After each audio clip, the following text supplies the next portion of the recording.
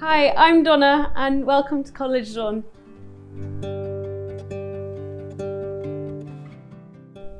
Through here is Matron, who you can come and have a chat to. She's always available and she always makes time for you, which is really lovely. and through here, we have our common room, which has a little space if you want to do some independent working. And here's where we come for registration and sign in, or if you just want to chill. Through here is our kitchen, where for the majority of the time we hang out. We bake in here, we do activities, painting, all sorts.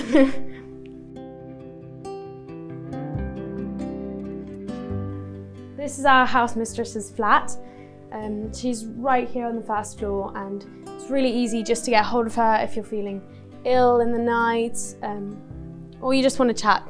So it's really lovely. Up here we have some of our rooms for the fifth form and fourth form.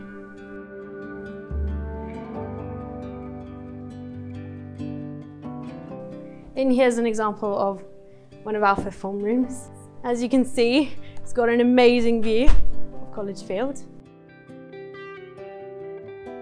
Through here is a corridor that connects the two college lawns.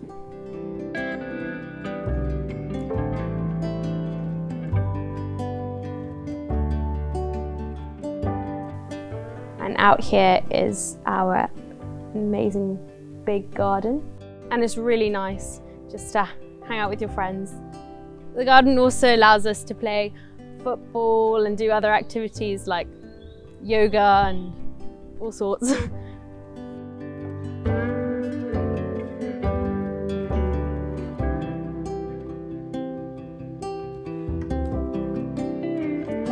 this is College Lawn 1.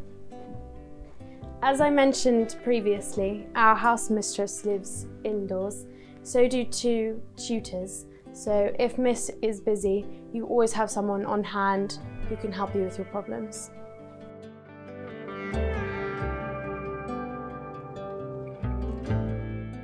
This is one of the third form rooms. When you're in third form, you switch rooms every half a term, just so you can get to know all the people who you'll be living with for the next few years.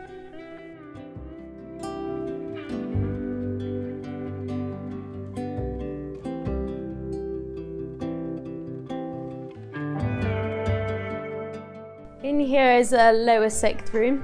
As you can see, there are less people and a bit more space in here. And this is so it's easier to study when it gets a little bit harder with grades. As you get older, you get less people in your rooms, as it's a bit more of a privilege.